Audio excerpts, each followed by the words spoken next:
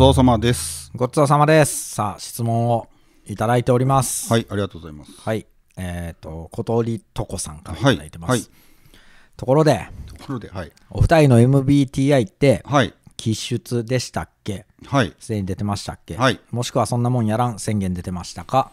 お気に触らなければやってみてほしいです。ということで、MBTI 診断って、うん。めっちゃ結構昔動画で出しましたね。そうですね、えっと、で、割と質問で来るんですよね。で、まあ、あーえっとそうですねはい、吉郎君が答えてくれてるんですけど、このはい。方に対はい。して。ありがとうございます。はい。スケマウさんがうん INTJ。うん。うん。良さ INTJ か、俺。うんまあまあ、うんねうん。うーん。冬明さんがうん ISTJ です。ほぼ一緒やないか。一緒やないか、こんな。ほぼ一緒やないか。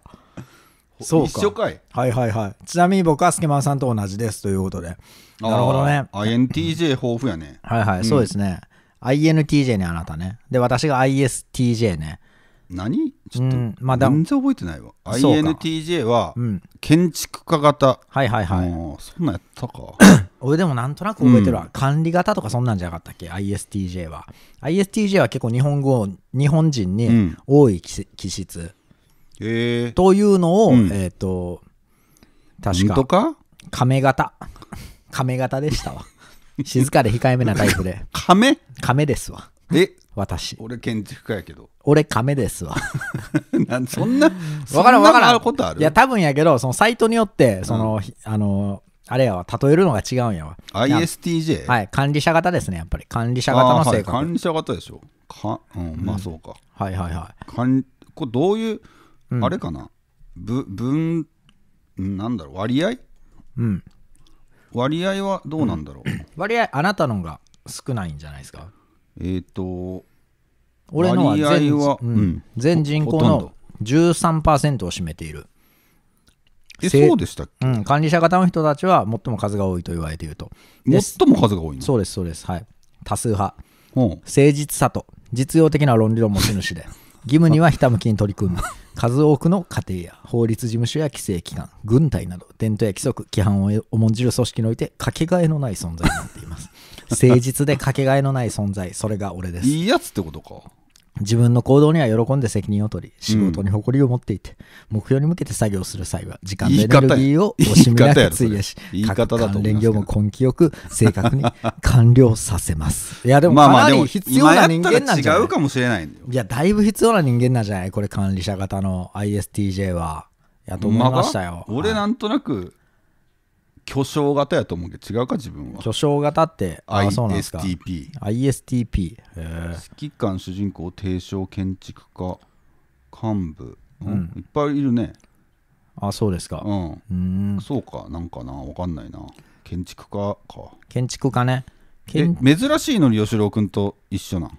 そうやねんな。すごいな。すごいね。I え INTJ は、うん。INTJ はどんな人や？ちょっと待ってね。はいえーっと、はい。この上なく孤独。言い方やだからそれはこの上なく孤独。何を見てんねんお前そんな書いてないよ別に最も希少で戦略に長けている性格タイプの一つで建築家型の人たち自身。うんこれを全て痛いほど感じていま どうす。いうことやねん何を感じてんねん痛いこの上なく孤独。あ孤独なこと痛いほど感じてるの？全て痛いほど感あじていますもうこれ。あかんよそれ全人口うんのわずか2%を占めていて、特に女性が珍しく、うん全人口のたった0.8%です。うんうんうんだから吉尾君とあなたは珍しいね。ん？あの吉尾君とあなたはこの建築型タイプでしょ？いやでも三珍しくないよ3人中2人やから今のところ66%やねんけどな、この3人と。俺のが珍しいねんけどな。はい、16パイタイプあるんでしょ？はいはいはいって。ことは普通に考えたら何何パーぐらいなんの？ん ?16 タイプあるからうん普通に考えたら、えっと、六6%ぐらい。6%ぐらいやな6%ちょいでしょ。じゃあ別にそんなに普通が6%で2%やったら別にうんそんな珍しないやろまあそこまでやけど、うんまあでも一番珍しいってことなんじゃないの？そうなんか、うん。で、まあでも今こはいの界隈では一番多いですいやだから66%やから、うん。めちゃくちゃ多いよ。3そうですね。人中2人逆にこう。皆さんが、はいはい。あの診断してそれを書き込んでくださいよ、ああ、そうですね。このチャンネル視聴者の,、はいはい。あの統計を取りますよ。このチャンネル視聴者が、えっと、な何型かっていうね、そうそうが多いかのは割合を、いはいなるほどね。それが全てですからここの中では。あここの中ではそうかもしれないね。はいはい。そうかもね。うん。だから意外と INTJ が多いかもしれないし、さっき俺が言った ISTJ か、うん。全員 ISTJ かもしらんし、うん。はい。まあ、それはちょっとわからないもんね。そうですねだから 10, 10何タイプ ?16 タイプ。タイプ？ね16タイプか。はいはいはいそうか。だからみんな MBTI 診断をしてはいはい。そして特徴を書いてください。あの、それが何かっていう。あの、調べて飛ぶ飛ぶっていうのが ちょっとできないんで。できるやろ。さすがにできないんでできるやろ別に。特徴書いていただければ助かりますよ、それは。ISTJ 教はこうですってさっき今言ったまあ性別も書いてほしいね。はいはい、性別もね。はい性別と診断結果、はいはい、そうですね、はい。皆さん書き込んでください。これ結構でもめんどくさかった記憶あるわ。あのだからいやもう一回やり直してみてめちゃくちゃそうやね、めちゃくちゃ長かった記憶あるな。もう一回動画にしてみます。そしたらもしかしたら違う結果かもしれないよ変わってることもあるもんね。性格ってちょっと変わったりもするもんね。うん性格なんか結構変わるからねはいはい。うんそうかもしれないですね。うんはい。まあちょっとまたやってみましょうか、じゃあ。うんあの、ドラマも終わって暇やし。そうですねうん。はい動画が1個。うんだからできるね、そういえば、暇ネタが。暇ネタですか平日の暇ネタがね。12分ぐらいでできるみたいですねあ、そうですか。うんまあやってみましょう、じゃあそれはね。うんはいはい。ということでね、はいはいありがとうございました。ありがとうございましたはいはいああ、今週そのはね、管理はいはい。管理者は何してたんですか？いやー、管理してますよ。あのねあそうですか。あのーまあ、家の改装をしてるって言ってるじゃないですか。まで、えっ、と、まあ、サッシがね、言ってるじゃないですかじゃないよ。サッシがね届いてね、あのやっとサッシ、あの窓、でかい窓、ひあの引き違い窓で、えっ、と、うん。吐き出し窓、雑誌冊子ね。サッシ、サッシ、うん。あの普通の、だからあれよ、ベランダに出る窓よ。あーあれがだからなかったのよね。というか、まベラあ、ンダっていうか家がない家があるんですか？なんやねん。窓とかもあるんですか？窓ないよ。あないんやないから届いたっつってるじゃないですか。だから、えっ、と、窓や。うん窓があんのよ。で、庭に行く方ね、はいはいベランダに行く方の、はいえっ、と、窓ね、が届いたと。何があるね屋根はあんの？屋根あるわい。うん屋根と躯体があるわ。躯体って何？柱と。あ柱と屋根だけがあるの柱と屋根と土台があるわ。うん壁はないな土台がある。壁もある。あ壁あるんや。一応ある。う。ん。潰してる、壁はでも。ないやないか。ほんなら。いや、あるんで。あるところ、ああるところもあるあるところにはある。とまだ潰しきってないところもある、うん。はい。というような、まあ、状態なんですけども。まあ、あの、今ね、あの、ちょうどこう、風が通り抜けるような状態なんですよ。まあ、入り口はね、まあ、あの、扉あるんですけど、まあ、扉開けたら、あの、外側、まあ、あの、ベランダ側がもうほんまに開放的になってしまってるんで、うん。何もないような状態。うんうんだからもう風がこう通り抜けるような感じですよね。うんで、えっと、まあ、やっと冊子が届いたんでね、うん。すごいやっと部屋になりそうなところの感じなんですよね。うん。で、えっと、届いて、はい。冊子って結構重たいらしくて、あの、調べると。網戸とかのやつですか？そうそう、網戸とかのやつとかで、はいはい。あのペアガラスっていう、まあ今二重構造になってるガラスがほとんどやから、うん。大体まあ1枚、えっと30何キロ、うん。3、40キロぐらいあるんですって。で、それをまあ結構2枚、引き違いやから2枚と、でまあ冊子とっていう運ぶ感じなんですけど、うんで、家の前にね、あの車つけられへんから、うん。まあ近くに置いて、まあ30メートルぐらい手運びなんですよね、うちは。うんそうなるよね。うん、だから結構大変ではあるんですけど、うん。あのーおも来たら、うん。で、えっと、運送会社止めで、えっと、うん。頼んでたんですよ。うん。で、運送会社さんに、えっとその車の中に突っ込んでもらって、で、そのまま、えっと、車の中で行けるところまで行って、はい。家の近くまで行って、で、開けて、うん。で、えっと、取り出したら、うんめっちゃ軽いんですよ。うん。あれと思って、うん。これ部品足りひんのんちゃうんっうん。て思ったんですけど、はいはいはい。でもなんかパッケージ見たら3個って書いてあって、うん。まあまあいいわ合ってるわと。合ってるわと思って、で運んでみたんですよ、うん。結構軽かったから、うん。まあ、ででもまだ開けてないんですよ。うん。まだつけへんから、うん。だからもしかしたら部品足りひんままかもしらんとは思ってるんうんですけど、うんまだ疑ってると。まだ疑ってますね、はい。でえっ、とその夜に、はい。あの大勢集まるちょっと飯会がありまして、うん。はいまあ、関係ない話ですよこれは。うんうん。なんと冊子のうん話とは、うん大勢集まる飯会があって、うん。でえっ、とあなたね。え？あなたね。おあなたに聞きますけど。ねん。はい。筋肉自慢する人いるじゃないですか。あーはいはいはいはいはいはい。好きです？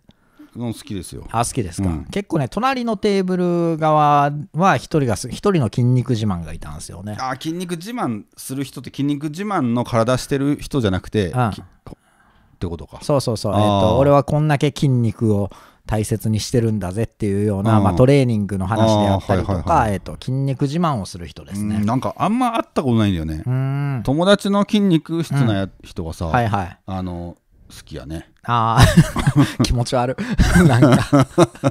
き 筋肉質な男性好きな。違う違う。と僕の知り合いで筋肉質な人は、はいはい。あのいますけど知り合い。で、うん。はいい。人なんで好きやけどああ、なるほど。うん。まあ、そのね、あの、場にいた筋肉自慢の人は、うん。結構その自慢をする人で筋肉自慢をね。うん。で、えっと、まあ別に隣テーブルやったから、うん。まあ別にあんまり気にせずに話してたんですけど、隣テーブルで、あ、腕相撲するかみたいな話になってたんですよ。うん。で、えっと、まあもちろん筋肉自慢がね、うん。あの勝つような感じやと思うんですけど、うん。筋肉自慢のこう腕相撲エピソードがうん。こう結構熱く、こうでそのするのにエピソードも言うんですか？そうエピソードを話してて、はい。だからするかみたいな。だから挑戦してくるかみたいな感じでしたね、で、えっと挑戦してくるかっていうので、うん。えっと自慢エピソード。はい。俺は、えっとこんな10人連続に勝ったことがある、うん。あと、まあ、格闘技のチャンピオンにも勝ったことがあるとか、うん。そういう話を結構してて、うん。で、えっと、別に、えっと、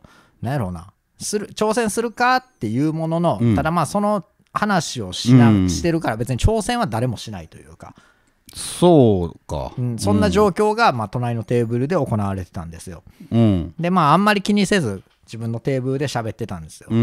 喋ってて、えっとふとね、まあえっと78分ぐらい経って、うん。隣のテーブル見たら、うん。まだ話してたんですよ。まだ話してそう話はするやろね。えっ、とね。同じ話か。い腕相撲の話をしてたね筋肉自慢の腕相撲エピソードの話をしてたのよ、うん。でえっ、とちょっとねあの、まだ話してるから、うん。えー、とまだしてたのと思って腕というかまだしてたのって言っちゃったんですよね。腕相撲自慢を。なんで？まだして知らないうん。知らない人でしょ？あいや知ってるよだから。ああ知ってんの？だから大勢のああそういうこと。だから大勢のっていうことね、あはいはい。大勢の話なの。もちろんだから知ってるし隣のテーブルまだしてたのと思って、でえっ、と僕は腕相撲そんなに強くないんですけどうん。なんかそんなに強いって言ってるから、うん。なんかどんなんかなとちょっと興味あるというか、はいはいはい。単純に興味あるし、うん。でえっとなんかこう聞いてる他の聞いてる人らもうん。隣のテーブルの人らも、うん。結構退屈そうやしさ、うん。ちょっと一肌脱ごうかなと思ってはい。ちょっとえっとやってみないっていううん。ことを、えっと俺が言って、はいいや別に負けると思ってんけど、うん。あのやってみたんですよね、うんうん。でもめちゃくちゃ筋肉自慢は余裕ですよ、うん右左どっちがいい、うんみたいな。あとどっちでもいいよ、うん。余裕やから、うん。みたいな感じだった、うん。あじゃあ、えっと左のが強いから、うん。まあ、左でと、うん。でえっ、とがっぷり組みましたよ、うん。組んで、えっとレディーゴーと。うん。でえっ、となんとね、うん。結構簡単に、うん。あのーその向こうの手首ギリギリまでいけたんですよ、うんうん。あこれ性格悪いやつやと思って。うんわかります。あの手加減をああはいはい。しといて一気にググッていくやつあるじゃない？うんあるあるある。ああれやなって思って、うん逆転の遊びのやつやと思って、うんうわこいつ性格悪いなってはいはい。まあでもそれははい。さなんとなく分かるもんねそれ前の。ね。イメージ通り触れ込み通りやと。そうそうそう。って思ったら、えっと、そのまま買ったんですよ俺が。う んおいおい何やってんだよ筋肉自慢。おわーってすげえ盛り上がって、うん。ええー、と思って。ヒーローやでええー、と思ってさ、うん。でえっ、といやいやいやいやと、うん。で筋肉自慢は、いやちょっとこれはまあ左やからみたいな、で、えっと右でということで、えっと逆の手で。大丈夫か筋肉自慢。っていうふうに言ってきたから、はい。うん。でまあ逆の手右側でやって、うん。うん。めちゃくちゃ手首巻いてきたんですよ、うん。いやいやちょあのはっきりと分かるぐらいに手首巻いてきた。巻いてくるというのはその自分に有利なようなそうそうそう。あのね。の腕相撲で手掴んだ時に手首巻いたらそっちが勝つってわか、あのみんな知ってるやんもうそれは。うん。うんあそうかそうか。うん。はい。20年前の手口使ってくないとずるいよと。うんそうそう。だからそれはやめようぜと言って、うん。そしたら、えっと、俺その手口知らんかったんですけど、うん。すごい自分の肘を直角にしてきたというか、うん。自分の体側に寄せてきた。あはいはい。手首の位置がめちゃめちゃ高いんですよだからうん。直角やからさ、そうだね。んだからえそんな手長かったっけ？みたいなうん。感じ、その方法その手口知らんけど、うん。分からんけど、うん。やめようぜって言って、うん。普通にやろうぜん。普通にやろうぜって言って、うで、えっと、レディーゴーと、うん。で、えっと、右は強いんですよ、うん。筋肉自慢、うん。互角ぐらいの感じ。強ないがな。でうん。結局、はい。あのスタミナで勝てたんですよ、俺が。わーって盛り上がって、なんなんそいっていうかそこの盛り上がりを、うん。盛り上がりようが自分でもびっくりするぐらい盛り上がってたから、うん。あのーいいじゃん別に筋肉自慢盛り上がったんやったら。みんなさ、うん。筋肉自慢にこんな強いフタフラストレーション抱えてたんやっていうことも 分かって、うん。そうなんやというか。そうやろだってうん面白くないやんやすごいぞと。なんか、えっ、と、こっちが結構だからうん。褒められる感じになったというかそれはなるでしょうねそうそう。ん。えっ、と、結構ね、あの、わーっとなったんですけど、うんこれ多分やけど、うん。その、なんというか、なんでかが分かったんですけど、もうそうですね。僕まあ筋肉自慢がわわかりますねそれは。いはい、あの筋肉自慢が、はい。多分弱くな大人になって多分大して練習うん。なんかもしてない、うん。トレーニングもしてないっていうのもあると思うんですけど、うん。僕があの多分半年ぐらい、うん。この半年ぐらい重たいもの建材とかうん。廃材とか、うん。あ30メートルぐらい往復でうん。何回も運んでるから、うん。多分腕が強くなってるんですよね。うん。で大人になってさ、うんこう自分の体にこう、うんあのベストキットみたいなことが起きてるんですよ。うん、私そうだと思いますよ。ね、あの、求めてないベストキットが自分の体に起きてて、で、それに戸惑ってるというか、うんまあ、その腕相撲の時に、うん、あの、得た力にうん変に戸惑っちゃってる自分がいるんですよね。うんだから、まあ、えっ、と、いらんな、大人はね、この力は別に。まあ、いらんっつってもまあいいじゃん、別に悪いことじゃないからさ。子供の時に欲しかったよ。っていうまか強くなりたい時に欲しかったよ、これ。なんで別に強くなりたない時に。やってた時に。ねそうそう。うん格闘技やってた時に、うん。減量とかしてたからうん。そんなつかへんかったけど、うん。いやでもこれついたらよかったよと思うよ、うん。あのー欲しい時に得れないね、うん。体。うん。でえっと本当に欲しくない時に、うん。あのベストキットみたいなことが体には起きるから、うん。気をつけた方がいいですよ皆いさん。や別にでもそこの場が盛り上がったわけやし、うんそいつが、だそいつかわいそうじゃない？いやかわいそうじゃないよ全然 全然かわいそうでではないけどそいつには嫌われたよ。え？嫌われたよ。いや、嫌ってなかったよ。もう、うん、でもまあ嫌っ、嫌ってはなかったと思うけど。嫌ってはない？うんもう誰とも勝負せんって言ってた、開き直って。そっちで言ってた。あ、そうなんや。うん、だからまあ、ねそっちで冗談を言ってたから、まあ、うんバーとしては良かったんですけど、うんバーとしては良かったけど、こんなにフラストレーション抱えてたんやなって。で、一、あの、自分のテーブル側にいたやつが一番喜んでた。あうんお前が一番フラストレーション抱えてたんかって思って。あ、なんでや。なんでやって思ったけど、うんまあまあでもちょっとうん。思うところがあったんでしょうね、うん筋肉自慢に対して。そうですっていうようか。なことが、まあさうん、でもまあ今週ちょっとうんそういう、あ自分の体に筋肉がついてることが、なを知りましたよ。何歳うんたちと飲んでるんですか、めっちゃ若い二回りぐらい下の人たちと飲んでるんですか？え、二回りぐらい下のやつとこんな感じになります？いや分かんないけどその 筋肉を自慢するってさ、はいはい。同世代ではあんまりこう見られない現場やなと思っていや、まあいるでしょ、全然同世代でも筋肉自慢のあそうなん人。ですか？え、あなたのが好きな筋肉自慢は若い人なんですか？いや若くないよ。そうでしょ。共通の知り合いだよ。ああ、いるやん。だから同世代でいるやん。うん。別にいるでしょ、筋肉でああいう。筋肉自慢しないよ。しないしない。だから筋肉自慢する人もいるやんか、別に。ただ筋肉がある。やな、やたら筋肉がある人。あるだけ やなやたら筋肉がある落ち着いたおっさんっていうね。うんあるだから共通の知り合いの方はね。そうそうはいはい、そう思いますけど。プレプロテインばっか飲んでそうやね、プロテインばっか飲んでね。うん。ジムばっか通ってるそうね。うんそうやなは。全くうん一番筋肉ないぐらいのスポーツカーでキャンプに行くの。はい。はい筋肉の人ね。はい。とは思います。まあまあ、そうですね。うんいや、でもまあ、同い年ぐらいで言いますよ。あそうなんですか？だからその筋肉ね。その状態の体になってて自慢もするっていう人。自慢ってさあ要はさ自慢をすることはあかっこよくないっていう割と共通してるのかなと思ってて。ああ、でもそんなこともないんじゃない？ないんかな？あーでも、あの、恥を、かっこ悪いさを、あの、取ってでも、うん。かっこ悪くなってでも自慢をしたいっていう気持ちが上回るんかな？そうなんかな。だから共通であるかもしれんな、やっぱり。うん。だからうんあなたが嫌がることは何回か冗談でやったことあるけど、うん多分あなたの自慢になるようなあなたの、えっと、いいこと、はいはいいというか、はいはい一般的には、あえっとななんだろうないいとされる要素になるようなことを 言うとめちゃくちゃ怒るやんか。いや、別にめちゃくちゃ怒ってはないよ。いやニコニコして、恵比寿顔でやってるやんか、それは。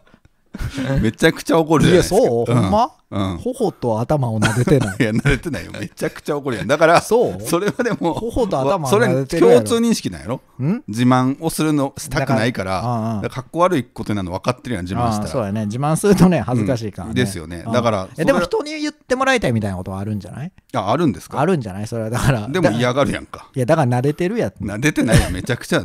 そんな俺言ったことないやろ。めっちゃ怒ってる。それだから悪いこと言ってんちゃう。あなたは。一般的にいいと言われるようなことを言ってるんじゃないでしょそれは。そういうこと言ってるでしょ。そうかな、うん。うん。かね。まあまああんまり記憶にはないですけど。あそうですか？はい、うん、そうかな。あまあまあでも自慢ってねあんまり自分ではしないよね絶対ね、いい大人やから。いやそのだからまあどうしたらうまくできるかどうしたらそれがいい効果が得れるか分かんないよね。自慢ね。けけうん、その経験もあるしさ、自慢でいい効果生んでる人ってうん、見たことある？いやーちょっと難しいな。その瞬間に効果というかその瞬間にその人が気持ちよさそうにしてんなっていうのはまあ察せれるんですけど。いや気持ちよさそうにできないよね。みんなが嫌そうにしてるの見えるし。いやだから楽しくないのえっとえでも見たことあるでしょそれを。だからそれを察することはできるんですけど。だから自慢に、うん。いや他人がうん、言って自慢にさすのは見たことあるよ。他人が言って自慢そいやそんなそんなことないよって言って。その他人に言われたらまだ別に自慢になっててもあ嬉しくなれるぐらいの人はいるよ。あーはいはいはい。あなたは怒ってたけどだけど。だから俺はすげえ恵比寿顔でだからやってたでしょ。じゃだからそうそれを喜肩ぶ人はいる。喜ぶ人はいるよね。はいはい。でもそれも、うん、それそれぐらいやったら見たことあるけど自分からしっかりとうん「俺は!」って言ってやってるそんな強い人見たことないな。でも結構男らしいよねそれはね。男らしいけどだからそういう面では俺はその筋肉自慢を買ってるんですよ。買うざ買わざるを得ないうんなだから男らしいなというふうに思うし、うんあのうんそうだね。そうそう自分の欲求に弱いなとも思うし自分の欲求に弱弱いけどすげえ素直やなとも思うから、うんそういう意味では買ってはいるんですよね。確かにね。はい、自分が気持ちよくなりたいから、うん。人によく思われなくとも自慢をするんだというねそうやな。ますし、うん。はい、まあでも結構ストレートに自慢してたな。うーん。なんかこうへへ自慢ではないけど、うん。そこをちょっと言ってほしすぎて、うん。ただ言ってもらえないところを何とし,、うん。て言ってもらおうとしてる人とかは見たことあるけど、へえへえ僕うん。知り合いって僕の友達のさ、あのーたまにはい。何回かあなたも会ったことある友達いるじゃないですか、うん。あのーだだなえっと何人もいますけど僕の個人あのぼ完全な僕の一般の友達というかあーはいのはい。えっ、とあ分かった。仕事の付き合いとかででではなくて。ではなくて、うん。えっと、一般のあなたの友達で、えっはい。と、僕も何回か会ったことある人ね、うん。ラーメンラーメン食ったよね。あそうそうそあーうつい最近も、はいはいそうですね。あのそうですね。はいはい。いるじゃないですか,、はい。あのあいつとかはあなんかこうなんだろうなちょっとこう言ってほしいかあらあ俺ってやっぱ下の子にあ頼りにされてしまうこともやっぱああるなみたいなことは言ってたね。しまうっていう言葉使うの二度と。あなたはって伝えとくいやーなんでやろうなみたいなことは言ってた時は まあもうだいぶ昔やけど、ああって時があったけどああそその時はしまうわけじゃないでしょ。そうされたいんでしょいやでもそう頼りにされるんやったらみんな頼りにすするってあ言うじゃんと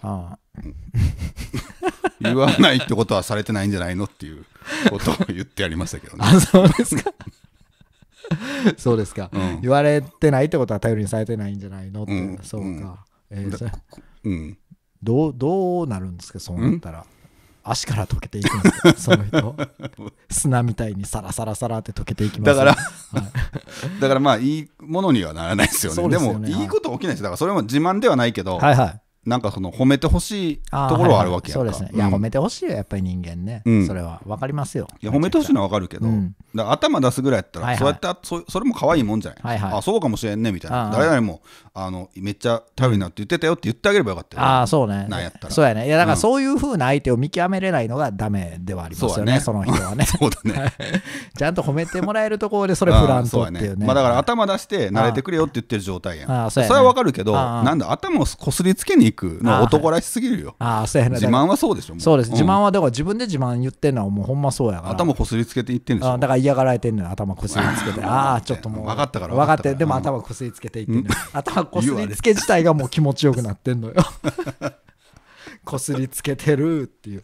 だからもうそれはちょっと男らしいなと思うし、うん、うん。まあ、だからその上で腕相撲負けてもいいなと思ってやったし、うん。だから俺はその人に対してそこまでそこその部分はうん他の部分ではあるけどその部分ではフラストレーション抱えてなかこったし。すりつけに行ったわけじゃないのね。そうそうそう、うん。こすりつけ自体は別にそんなにフラストレーション抱えるもんではなうんかったから、うんうんなるほどな。まあまあ そうやね。思ってたけど、ね。結構でも思ってるみんな抱えてたな、う。んなるほどな、はい。でもまあ確かにこう昔とかああよくこうえっ、とまあなんだろうな飲み屋さんにはいこう付き合いで連れてってもらったりとかすることも結構あったんですけど、はい。そういう時とかやっぱそういうお店とかで他のお客さんとか聞いてると、あまあ普通にシンプルにうん自慢まあでもそれでもちょっとこう自慢を言った確定は出してないよね。やっぱめっちゃ限りなく顔の近くまで頭を持っていってて もう撫でるしかないような状況にしてるおじさん見たことあるね、そうですね、でまあまあでもやっぱり、うん、で撫でられたら「えそう?」みたいな まあでもそれやりに行ってるから、ね、それやりに行ってる人は割といるかな。そう,、ね。うん。そうね。まあまあでも褒めてもらいたいじゃない、うん。あ俺ももうでももうあれよ。ベストキットのこと言ってほしいよ人に。ベストキットみたいなやつだぜ こいつあそう筋肉が。ベストキット見たことある？ないやろ。ベストキット見たこと。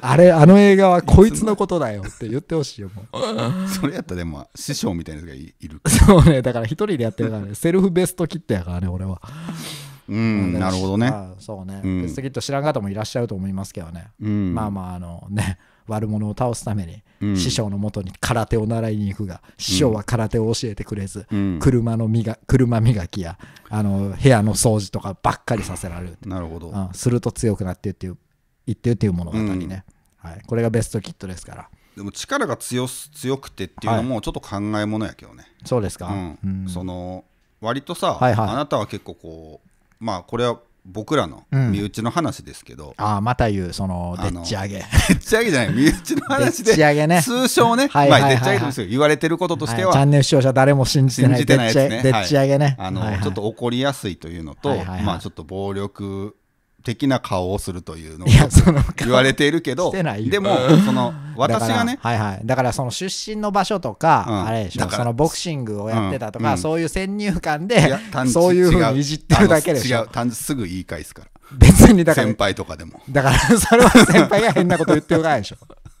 いやでもそうやって怖がってる、まあ、変な先輩でもいいけど、人たちは多かったですけど、まあ、私が、うん。あのあなたを怖くなかった一つの要因としては、はいまあ、格闘技やってるのは知ってたけど、はいはい。あの弱いという認識でいたんですね。あそうなんですか。君は、はいはい。あのけもしかしたら強いかもしれない。リングの上では。うん、でだ僕も喧嘩は弱いと思ってた喧嘩はね、うんまあ、喧嘩は知らんけど、うん。力は弱いっていう認識だったんですよ。あはいはい。少なくても俺よりはと。あ俺もでもそう思ってましたよあそう思ってましたか？だって腕相撲負けたもん。そうですよね、うん。だからそういうので、うん。あの怖まあ思いっきり掴んだら、はいあのこの 首絞めたらいいんやろって。首首で首絞めたらいけると思う。そうそうそう。だからまあそこまでの時に なんか何なんかダセえ勝ち方やけど何な発も顔に食らうから。めちゃめちゃ顔腫れて倒すことになるんやろ、顔腫れて首絞めて倒す。残牛夫の勝ち方ね。そうですね。まあだからそそういうあの気持ちがさ、はいはい。あるとやっぱ違うじゃないですか,、ああそうかもしれないね。うん。それはもうめちゃめちゃ凄まれても。ああはいはい。いや。そうね。いやいや首絞めて倒す方法があるそうそうそう。でもからっていうね今これそれを聞くとさいざとなったらこうまあたあのもう厳しいね。スキルは圧倒的に劣ってるわけですよ。はいはい。ボクシングやってたわけですよね。そうですね。はい。まがいなりにも。うん、で、えっと、ボクシングやってないわけですよね。ボクシングやってないクズ生活ですよね。煩悩字も知らないはいはい、そうですね。はい、はい、あの、床舐めてましたね。舐めてない。ボクシングやってる俺がボクシングやってる時。舐めてんあなたは床舐めてました。別に確かにね。むしろボクシングやってるやつが床舐めた後ちゃうん そこを舐めてましたね、あなたは。いやいやそんなことないですけど、だからそう聞くとね、こう力も強いのかと思ったら、うん。まあうは言ったら走れるザンギレフってことですよね。走れるザンギレフ。ってことですよね。そうね。ああのそれは強いですよね、はい、殴りを覚えた残牛そうですよね。そうないってくるとちょっと話変わってくるな。つねうん。首の締め合いでも負ける可能性もあるそうね、あなたにも勝てるかもしれないですね、もしかしたら。それはね怖いですね。いや、かもしれないけど、うん。でも、えっと、自分としては、うん。あの、ベストキットうん。の状態になったけど、うん。あんままだ信じてないんですよ、このベストキットを。だから、あんま実感誰も言ってがないというか。ないからベストキットと。だからあんま信用できひんよ、ん。ベストキットは。だから、ベストキットも主人公、ダニエルやったっけ？まあ知らない見てないよ僕それ。最初さ、うん。え？ってなってたよ窓拭いてたら失あそうそうそう。いつの間にか強くなってるってやつでしそょう、うん、だからあの感じという違かう子供やないかあれ。キットやからね。うん。だからその向こうが弱くなってるんじゃない？っていう。だからもう別に酒ばっか飲んで、うん。ほんまにあの筋トレも、ねそうそうそう、うん。ワーストキットなってんじゃない？っていってるってことね。っていう風な考え方もできるからだから別に俺が強くなってるわけじゃないんじゃないっていう、うん。察しもほんまに軽かったんじゃないっていう。いやいやそれは重たいよちょっと思うのよ。そうかな、うん、だからういやだから分かんないけどね。だからあなたとやってもまた負けそうな気はしてますよさ今今。度いあなた乗ってる自転車あるじゃんあか、ああれをさ、あの持ってうん来てみてくださいよ。事務所まで。何を言って乗らずに。乗らずに、自うん自転車を持ってはいはい。上に上げてなんでそんなんせなあかんの？来てくださいよ。なんでそれするの？乗るよ自転車には。なんでそれなんで俺が乗られてんの自転車 なんでそんな状態自転車を持ち上げて、はいはい。上に持ち上げて、はいはい。あの事務所まで来てみてくださいよ、うん。そしたら、いやめちゃくちゃそれが重たいじゃないですか。だからそれやったらすげえあの強いよいや、そう、なんなんそれ。自転車軽いよ、そして俺乗ってるやつ。10キロぐらいやから。あそうですかあれめちゃめちゃ軽いです。軽いんですか軽いんです、軽いいや、速いから軽いんですよまあ、そういう自転車ですから。まあまあ、でも確かにね、うんあなたが首絞めても、まあ、俺には勝てなくなったね。いやそうか俺も同じように首絞めるからね。いやーそれ嫌やなそうね。うん先にあなたの方がさ落ちそうです。でもあなたは足腰がしっかりしてるからね。あの、落ちた後も立ってるんだろうね。弁気慶や優しない弁ね。慶やないかだからそれが別にいいことではない。の落ちた後立ってんの。ね、うん。まあまあ、それはありそうです、ね。あかんでしょはいは。はい。そうかな。うん。いやちょっとこっちもじゃはいはい。あ気引き締めてはい。格闘技。はい。まあボクシングでも始めますかね。あなた買ってますもんね、なんか、この、あの、うん。事務所に、うん。その、ボクシングのパンチするやつ買ってるじゃないですか、あなたが。うん。強くなるんだって言っ違う違うでもそ違う違うて言って買ってきたじゃな買いですか。ってきてないでそれはま強あまあ強くなりてえんだうんって言って買ってきてたじゃないですか。いやいで、あんまやってないね、でも。全くやってないよそうですか。んはい。まあでもあれはねうん。まあまあまうん。まああそういうことですよはい。ストレス発散のやつね。まああんまりねうん。うまくいかないけどねそうですか。うんそうか。難しいんですよねまあちょっとね、うんちょっとだけ難しいですよね。はい。うんそうですねビンタやったら簡単にできんねんけどなあんまりこのパンチパンチング、ボール入れるビンタしてるやつもない。確実に当てにいけねんけど ビンタ鬼ババすぎるやろ。バチン 鬼ババだけパンチングボールでビンタしてんの。鬼ババの練習してどうするんですかやめなさいよや。鬼鬼ババの練習。鬼ババをイメージしてやってないですよそうですか。はいい、や、鬼ババだけですよ。鬼ババだけかもしれないけどはい鬼ババをイメージしてないですよはい、もうでも次からしてください。もうそれをやるんやったら。パンチングボールビンタするんやった本当に？痛いよら。痛いや鬼ババのビンタをそう。バチーンっていくからねだからその名乗りを上げてからやってくださいよ。痛いよ、鬼ママのピンタ。バチーンってパンチングボールを。バインバインバインバイン。そうなるとちょっとこっちにも勝機が見えてくるそうねな鬼ババのビンタが手に入そうったらやな。ちょっとそれは、こっちもだから弱いかもしれないね、鬼ババのビンタに。バチーンあんた今何した？鬼ババのビンタだ。って言われたら、こっちもちょっとすくむから。そうだねそうそう、んすくむとやっぱりこう勝負中は良くないからね。そうだねビンタってあとなんかこうす心にもくる刺さるもんね。さすちょっとね、ん。だからあの精神的に来ちゃうよね。忘れないよビンタされた時のそうそうそう。思い出は。叩かれたってうん思うから、思うね。そうそう、ん。殴られても別に思わない。思わへん。闘争心が闘争心殴り返すからね。そうそうそう。ビンタはもう。ビンタもはあ叩かれた。震えやがった後にそれさやったら鬼ババのビンタが最強ですよ、そうだね。結局。格闘技結で局そうか。そうね。それをちょっとあのボクシングジムにやりに行こうかな。鬼ババのビンタを？いやいいんです。パンチはビンタを教えてください。パンチを教える場所。ね。はい。ビンタを教わりに行こうかなと思いますよ。ですね。はい。ボクシングジムにちょっと行ってみてください、ビンタはい教わりに、お願いしますよ。はい。はい。そうですね。どうでした、今週はビンタやってるんですか？ちょっと時間がねはいはい。あんまりないんですけど。ああそうですか。はい、はい。あのーうん。こんなことでね、うん。なんで起こるんやろみたいなはいはい。ことってないですか、なんすか？俺ちょっとビンタもんすか？ビンタもんじゃないよ。まあまああの怒って 怒ってないっても怒ったことないっていうもんな。ん？自分あんま怒らんっていうもんないや怒るよ。怒るんかい、うん怒ってる怒ってる。怒っててるけど別にそのうん先輩とか、うん。あのーそれは怒ってる身内に別に怒ることってそんなにないけど、うん。それは怒ってないのね、うん怒ってる表情をしてるとは言われるもののね、なんかね、うん。あのー駐車場に、はいはい。あの毎朝入れるじゃないですか、はいはい。会社の近くに。ああはい。でねその時にね、ううんちの駐車場ちょっとだけね特殊で、うん。あのー入り口が、うん。まあ塞がってるんですよ、はい。でそれを開けてくれるんですよね。のああはい。駐車場の人が、で開けてくれて、うん。まあ、月決め僕なんですけど、ちょっと月決めってその一般の方と、はい。一般じゃなくて、えっと、時間貸しの方と開けて誘導してくれたりするんですよ、うん。で扉を開けてくれる、ん。待っとかなきゃいけないですよね、ああそうなんや。なんですけど別にそれはいいんですよ、うん。いいんですけど、その常駐してるの？その人。常駐してるんや。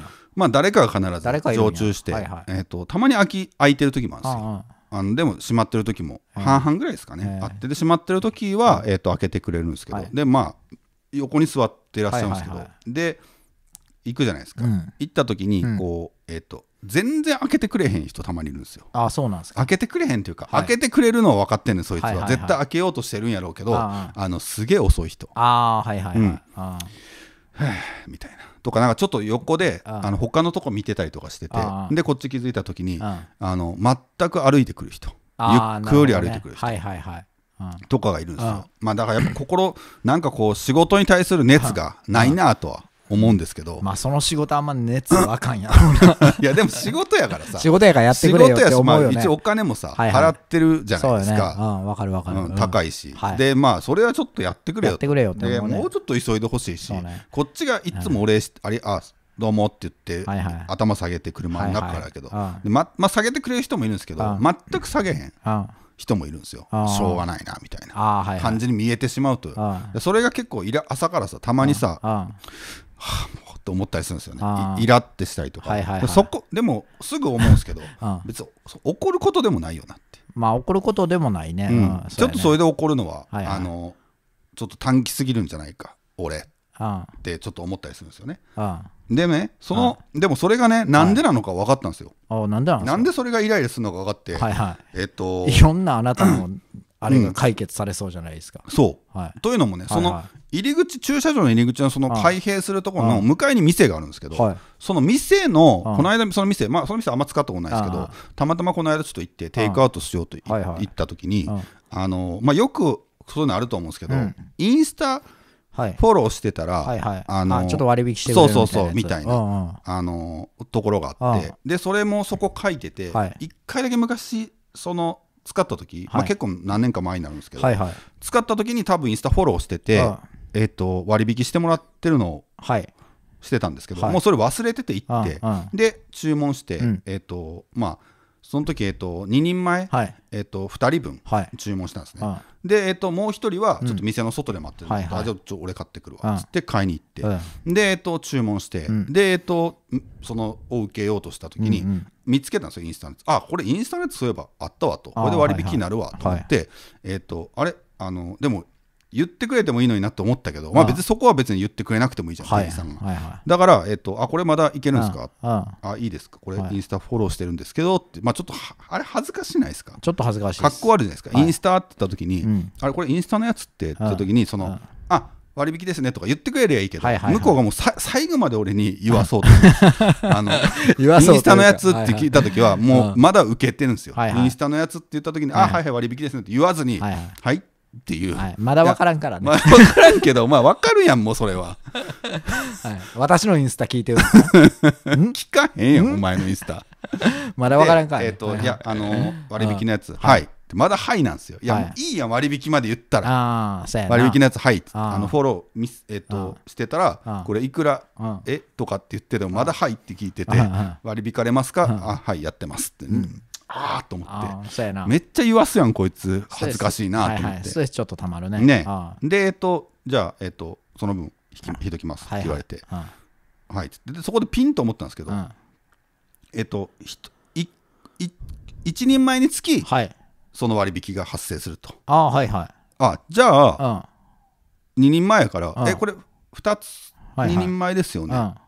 そっちえこれよ よく聞けんな自分も。結構タフやな。いやそうやイライラ来てる割にタフやなうん。でもまあそこで俺もそこでええわってなってええわってやった後でうん。自分がええわはじゃあもうなんかもう恥ずかしいとかが理由でええってことをしたことになるから。そうやね。うん。それはちょっとあのなんかなんかそれは嫌やと。卑怯者やと。いや結構ほほぼほとんどの人で今卑怯者って言った。いやいや違う違う。そそれはもうちゃんとやるべきやと思うからはいはい。言うべきやと。そこであのおじけついちゃあかんと。はいはいはい。だからあの後で後悔したくないから言おうと言って。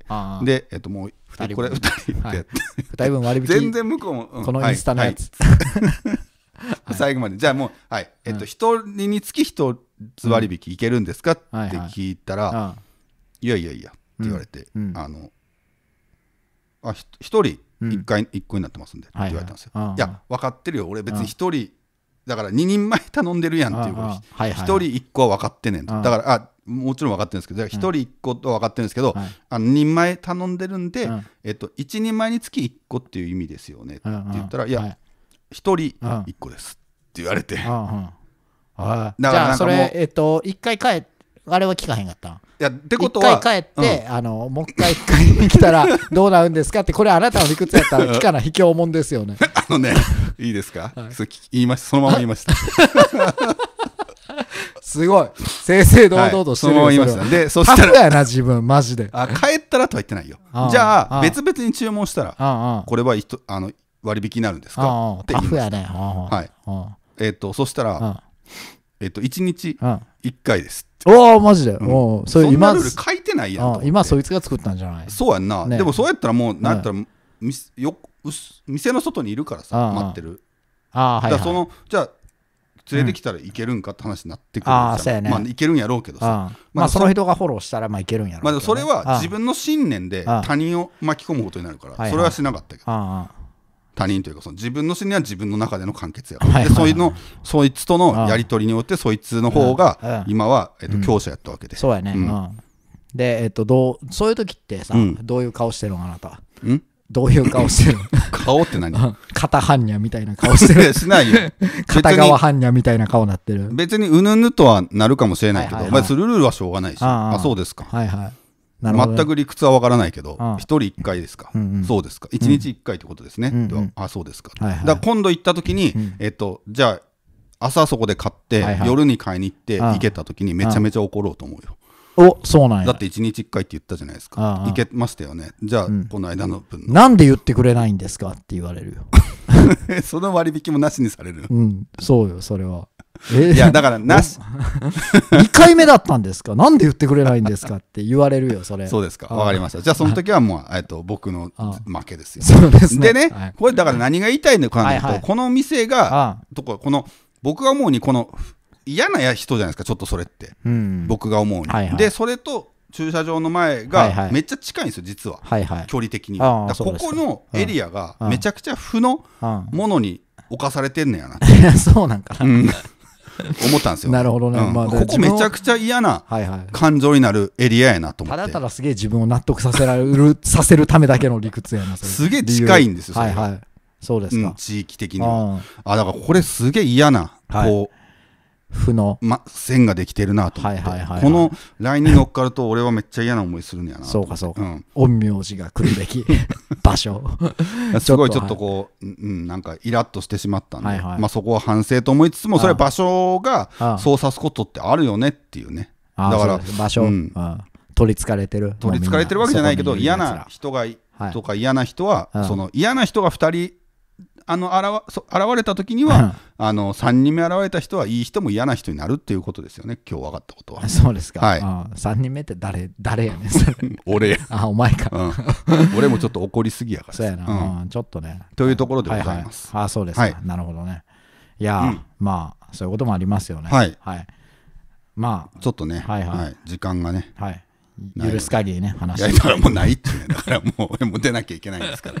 ははい。仕事がね、はい。あるのでちょっと申し訳ないですけど。はい、はい、ということでまたまたね。そうですね。ちょっとはい。あの自慢の話にも取られすぎましたけど。そうですね。いや、うんまたね、あのー自慢の話をしたいと思います。自慢をしてるやつの話をしつつ、自分の自慢ををうまくしていきたいなと思いますから。ああそんなのができたら立派ですね。そうですね。ん。今日のだからベスト・キッドは結果ね、あの自分の自慢してますから。ああそうですね。はい。確かに。それはいいな。そうでしょ。うん自慢してるやつのせいにして自分の自慢してますから。